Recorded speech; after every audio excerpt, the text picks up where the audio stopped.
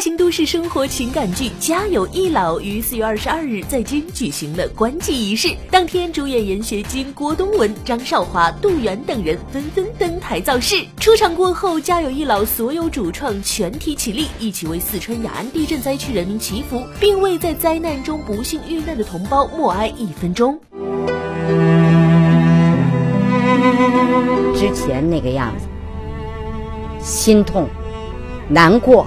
希望我们能给能够给他们以帮助，从精神上，就是除了心疼就是心碎。说剧组关机，所有的人都去那个四川。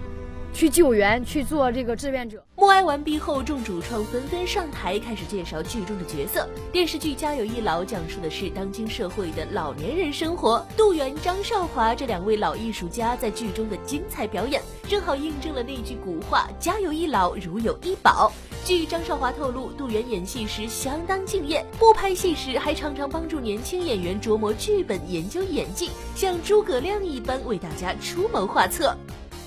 杜源老师，我老妈给封一个号是诸葛亮，真的是这样，对剧本是太大的贡献了。所以我们全剧组真的是这个戏能顺利拍下来，将来说这个戏还挺合理，老百姓还挺喜欢，真的是杜老师功不可没。然后对我个人，昨天晚上我已经紧握双手，就差捧着他脸亲一下。你现在亲一下，来得及，姑娘，亲一下。